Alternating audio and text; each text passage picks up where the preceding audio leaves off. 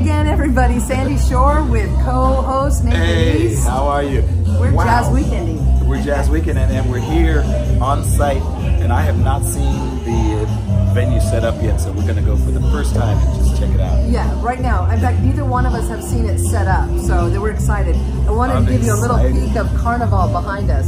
This is the latest Richard MacDonald sculpture. Isn't that fabulous? Wow. Is it? Just have a look at her. At the musculature. That's what keeps me in the gym every day, Nathan. Wow.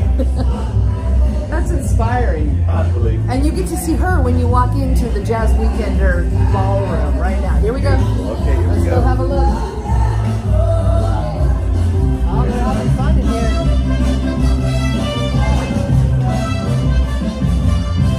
Wow. This is crazy. Beautiful. And I love the intimate setting. It's just uh, not a bad seat in the house. Wow. So they're ch- they're testing right now the sound system. They're setting up the drums. They're putting the keyboards down. Nathan just got here, as you know, on a scooter. And He's having a look at it for the first time. It's beautiful. Oh, it's going to be great. It's going to be really nice set. I'm excited. Yeah. And check it out, another sculpture behind us.